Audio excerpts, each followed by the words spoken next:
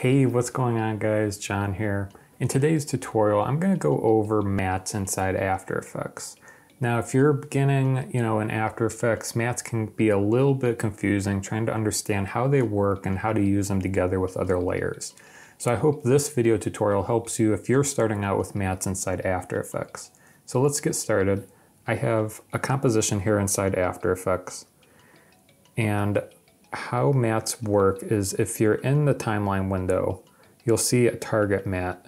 And there's a few different options. There's alpha matte, alpha matte inverted matte, alpha inverted matte, luma matte, luma inverted matte. First, I'm going to go over the alpha matte. And what the alpha matte is, is basically putting one layer inside another layer.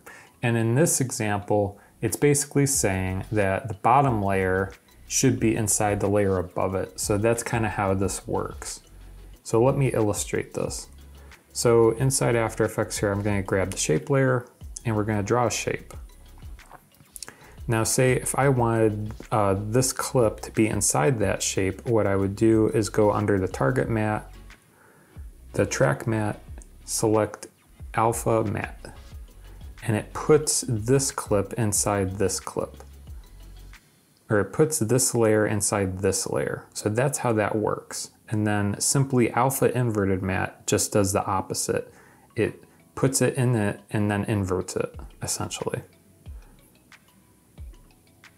So this is great, you know, you can take this, you can move it around and you have wherever the shape layer goes or the layer above it, whatever is below it is what's in it.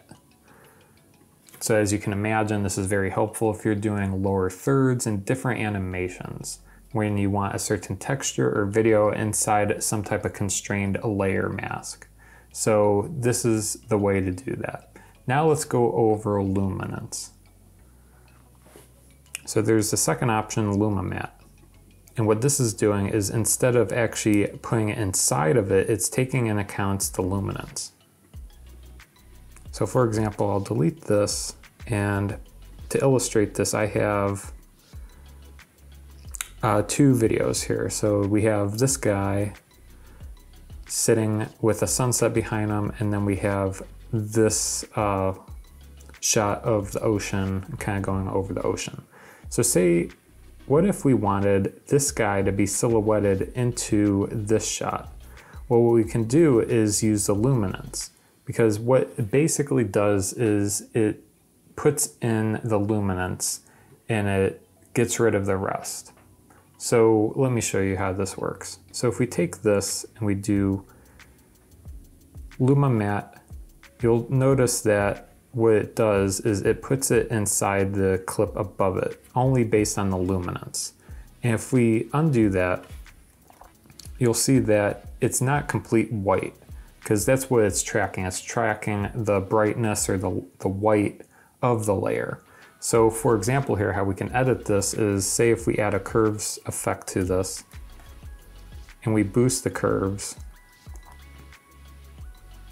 and then we do that, you'll notice that it goes almost all the way through now. So you can kind of see how this works and there's a lot of different creative things you can do with these uh, matte options. Feel free to experiment on your own projects, but this is kind of a little bit of an overview on how these work.